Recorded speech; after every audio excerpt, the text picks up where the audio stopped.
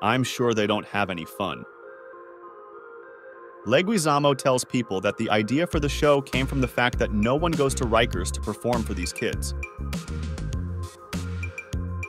John Leguizamo is using his comedic skills to bring attention to what he sees as major problems with the way the US jail system works. In the new documentary, John Leguizamo Live at Rikers, the 63 year old actor and comic puts on his hit one man Broadway show, Ghetto Klown, at the Rikers Island Correctional Facility in front of more than 400 other prisoners.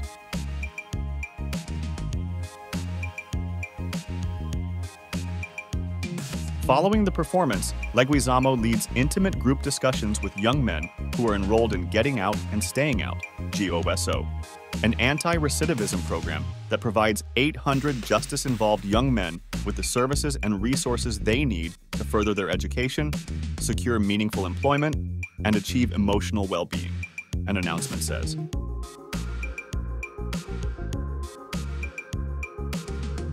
Leguizamo, who was born in Bogota, Colombia, and grew up in Queens, New York, told people about the experience.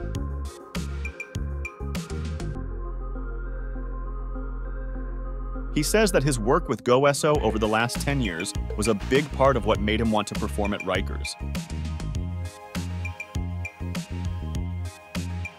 I participated in the program teaching an acting class, teaching them how to do a one man show, and you fall in love with these kids, he shares. You see how much heart they have, how they've changed, and how little opportunity life gives them for making one mistake in their lives.